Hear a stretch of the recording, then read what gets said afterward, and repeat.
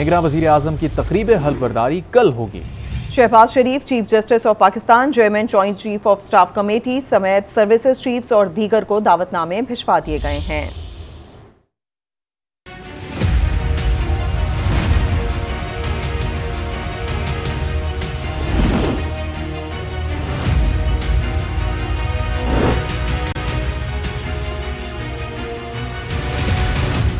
निगरान वज़ीर अजम के लिए बलोचिस्तान के सियासी रहनुमा का इंतखब।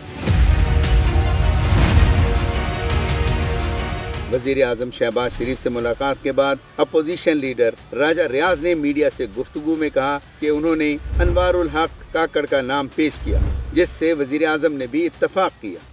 वज़ीर अजम साहब का और मेरा इतफाक हुआ है, अनवारुल हक काकड़ साहब पे। ये नाम मैंने दिया था और वज़ीर अजम साहब ने इस नाम पे इतफाक किया है। तर्जुमान प्राइम मिनिस्टर हाउस के मुताबिक वज़ीर अजम की भिजवाई गई समरी पर सदर सदर आरिफ अलवी ने दस्तखत कर दिए। अनवारुल्ला काकड़ ने कहा कौम की खिदमत का मौका मिलने पर रब करीम का शुक्र गुजार हूँ और आवाम के हक में फैसले करूँगा। अनवारुल हक काकड़ को निगरान वजी अजम का प्रोटोकॉल दे दिया गया।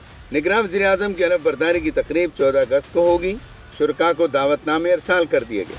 Shahbaz Sharif chief justice of Pakistan, chairman joint chief of staff committee समेत सर्विसेज़ चीफ और दीगर को भी दावतनामे भिजवाए गए हैं।